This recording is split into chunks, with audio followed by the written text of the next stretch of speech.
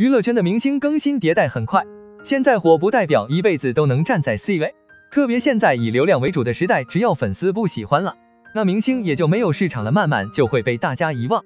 有这样一个人，演唱会都能迟到两小时之久，忘词还耍大牌，终于凉凉了。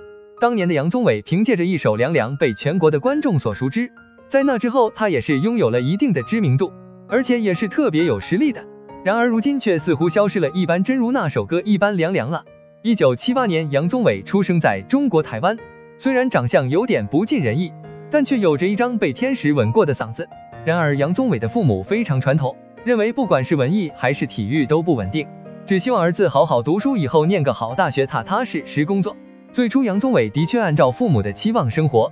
直到二零零七年，杨宗纬毕业参加了《超级星光大道》，那时的杨宗纬顶着一头杂乱的长发和一张酷似山顶洞人的脸。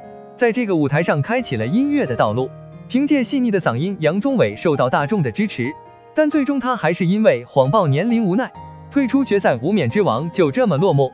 因为细腻的嗓音，他还是被公司签约。第二年，他发行了自己的首张专辑《鸽子》，还登上了唱片榜的的第一。但他发现公司有很多无理的要求，还被迫签下了不合理的条约。在此之后，杨宗纬就被雪藏指导与李宗盛相识。一首《洋葱》让他继续漂浮在乐坛，之后还登上了《我是歌手》的舞台，用实力证明了自己。杨宗纬也彻底爆红，他搭档张碧晨演唱的《凉凉》更是红遍大街小巷，下至小孩上至老人都会哼唱。然而如今却渐渐消失在大众视野中，外界一直传出杨宗纬偷歌、耍大牌的负面新闻。不仅如此，在一次演唱会上的时候，他迟到两小时，让很多的观众等了他一晚上。即便是这样，他依旧没有任何的愧疚之情。只是上台敷衍表演了几首歌就匆匆离开了，也因为这件事情让很多的粉丝认清了他的这个人，直接脱粉取关。